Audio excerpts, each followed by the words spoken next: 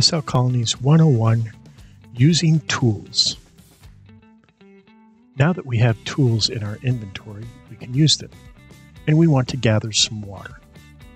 So before we use a tool, we must get a tool. And we want to get the clay jar that we bought. The first thing it does is connect to the tool server in the region, and the region delivers the tool to your HUD. You, to get tools, you must be in a region with a region server. Now that we have the tool, we can use the tool. Click there, click Clay Jar.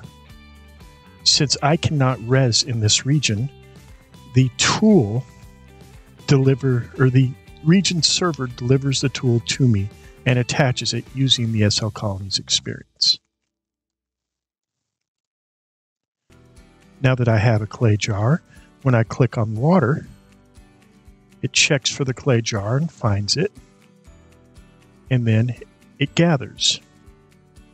And I received one item of water. We're going to stock up on a few water.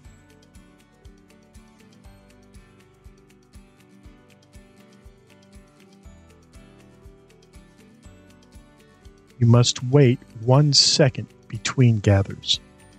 This is to not spam the server with requests.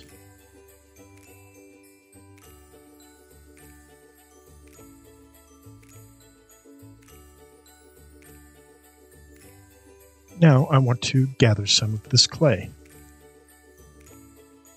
Oh. Well, I clicked on the reed instead of the clay. That's fine.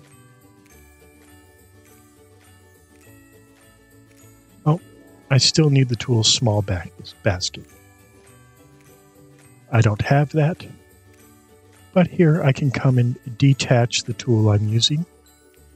And in the next video, we'll show you how to create a small basket.